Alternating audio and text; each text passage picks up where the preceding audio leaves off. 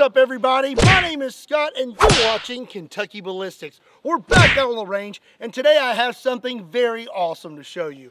This is a Greener harpoon gun. And this is the exact make and model that they used in the movie Jaws.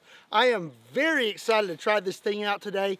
This does not work off of compressed air like modern harpoon guns. This actually uses a blank which is placed in there, a 38 special blank to be exact. And that 38 special blank is used to propel your one pound harpoon. These things are actually pretty hard to find. They're about 50 years old, and when they made these, they originally came in these big wooden cases. Normally, the harpoon oh dear.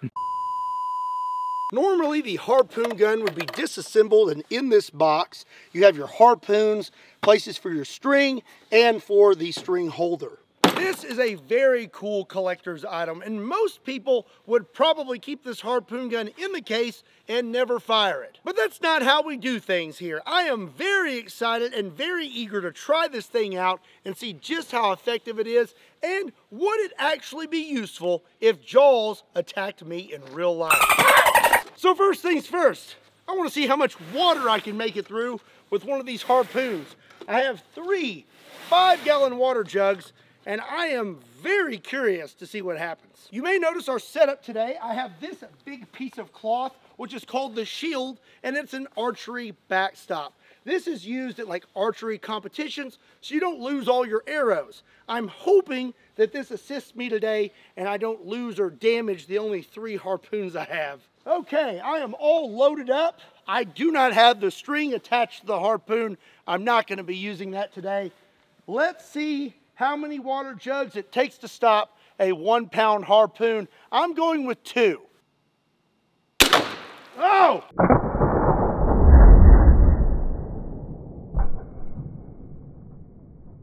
Oh, I hit a little high. We made it all the way to the third water jug. I may need to do that again. I feel like I just kind of shot through the water jugs and never hit water. Well, hit some water. That's stuck in there pretty good.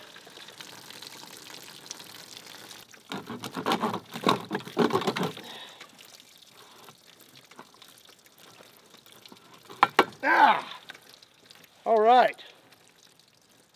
Does not look like the harpoon is damaged at all.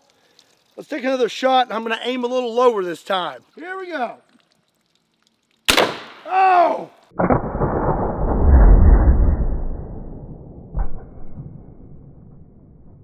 Wow! Man, that thing is not playing around. That's, that's pretty serious. We made it all the way out the back of the third water jug.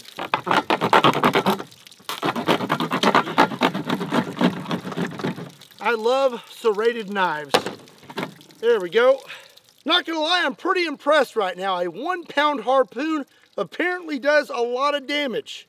I never seen one make it through three barrels before. Looks like this guy here, he's been out of the water too long. I make sure these guys don't, I don't want anything to happen to them, you know? Don't you go dying on me! Okay, up next, I want to see how many sharks this harpoon gun will go through. I know we don't have sharks in Kentucky, but have you ever seen the movie Sharknado? The weather's been getting crazy lately. There's a good chance these things could just fall from the sky any day. Judging from what happened to the water jugs, I think I'm gonna make it through all three of these sharks, no problem. All right, here we go. Oh!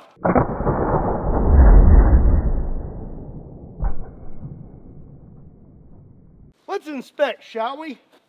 Look at that cut. That is a big wound channel there. Both sides. Continued on, went through this side of the shark. This poor shark. What's inside a shark? I've always wondered. hit that subscribe button. This guy here, he got hit through both sides. Also, Mama says sharks are ornery because they got all them teeth and no toothbrush.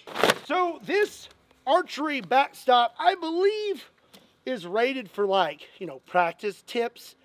I am almost 100% certain it said not to use broadheads, and I thought, ah, you know, broadheads are moving really fast. This is a one pound harpoon. How fast could it possibly be moving? Apparently pretty fast. That went clean through this thing, and it may not look like it, but this thing weighs like 40 pounds. It is thick cloth, and the harpoon just blew right through it. So we do not have sharks in Kentucky. But what we do have is rabid turkeys. I have here a turkey made out of 10% clear ballistic gel. This is made by Clear Ballistics, and I have to say, it's a pretty cool target. Let's see what happens when we shoot it with a one pound harpoon.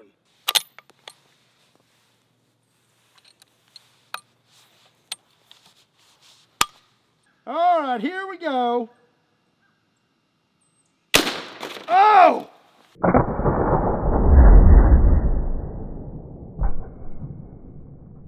Wow! Okie dokie. Well, that was quite a bit of gel to make it through. And we almost made it to the very back of the turkey. That is one heck of a wound channel. That is very, very impressive. What happens when I try to pull this thing out of here though? I wonder if those hooks will engage. Yep. So, these harpoons, they have these hooks and they open up when you try to pull this out and that's to keep the harpoon in the target. Oh dear. Oh! Oh! I would say that harpoon guns are pretty effective against turkeys. You know what hurts worse than a harpoon gun? Someone pinching you on St. Patrick's Day because you're not wearing green. Be sure and check out the Kentucky Ballistics St. Patrick's Day shirts so you don't get pinched. There's a link in the description down below. You know what's even more terrifying than sharks? Giant octopuses. So next, we're gonna find out how effective the harpoon gun would be against the giant octopus.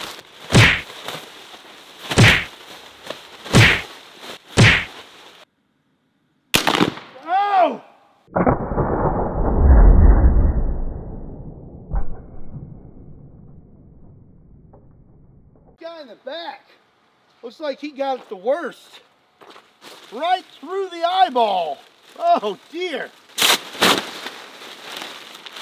No harpoon in there. It's right here. We almost, okay, it didn't make it all the way through that time. This may be more difficult to get out because it didn't go all the way through. Let's see what I can do here. Oh, oh, we got one. Maybe I can just kind of rotate it. There we go. Let's check out our other octopuses. This dude right here got hit right in the top of the head and came out the back. Got one in the back of this one and I hit towards the top.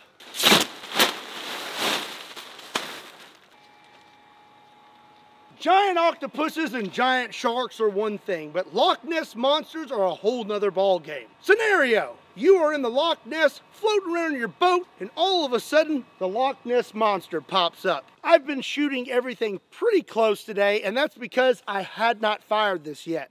But now that I'm a little more comfortable, I've scooted back a little ways for 25 yards away. Let's see if we can hit old Nessie. All right, I guess I'm gonna aim a little high. Oh!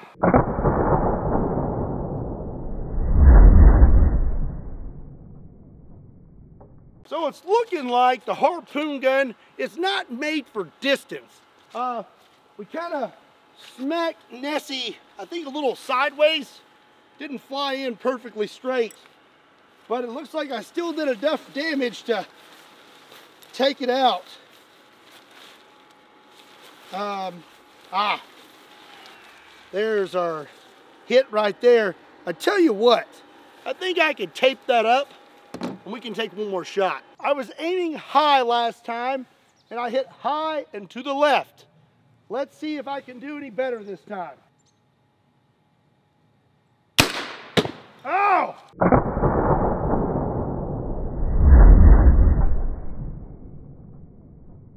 I'm not really sure what happened. Let's see here. Do we have a new hole? Yes, we have a new hole. We've uh, ripped Nessie's right peck out. And oh dear, yep. We blew through the back right here. Yeah, there's definitely no putting a thumb in that one. Which I can just tie this shut. Let's take one more shot at Nessie. Here we go. Oh!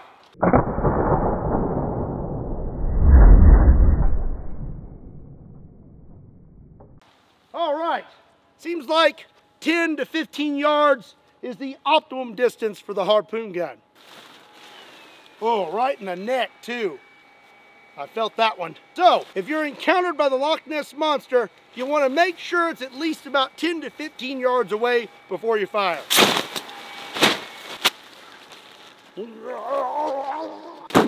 Next scenario, you're watching TV and it's Shark Week. You get a little too excited and you're watching it while holding your Greener harpoon gun.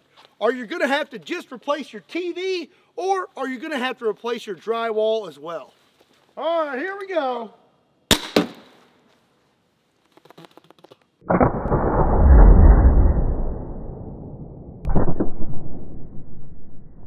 So here's the thing. I have three harpoons, two are original and one is a remake. This is the remake and it didn't want to fit on too well. So when it shot, I lost some pressure and it did not fly very fast. I mean, it barely did anything and I caught a little blowback. So I guess that means I'm gonna have to use one of the originals. This is what I should have done in the first place. Okay, round two. Oh!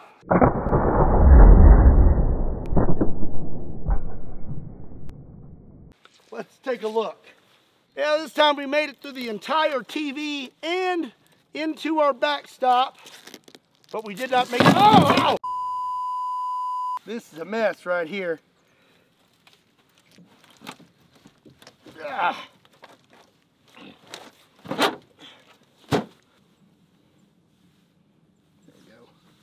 Oh, we're still in business. Looking good.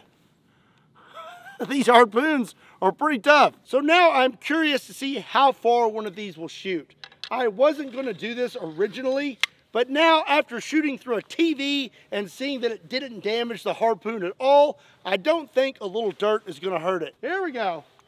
Give a slight, well, let's, let's go about like that. Three, two, one. Oh, it's flipping. It's flipping. Wow, that went pretty far. Looks like this thing made it roughly a hundred yards. Luckily, it did not land on this side. It is not filled with dirt. And it still looks like it's in good shape. Look at the way it landed. That came down with some force. Well, that's going to be it for today's video. I hope you enjoyed it. What did you think about the Greener harpoon gun?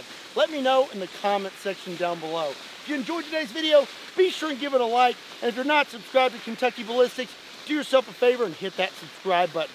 Also, be sure and check me out on Kentucky Kustoms, Kentucky Ballistics Shorts, Patreon, Facebook, Instagram, and Twitter. Links to all those can be found in the description down below, along with a link to KentuckyBallistics.com, just in case you want to pick up a shirt.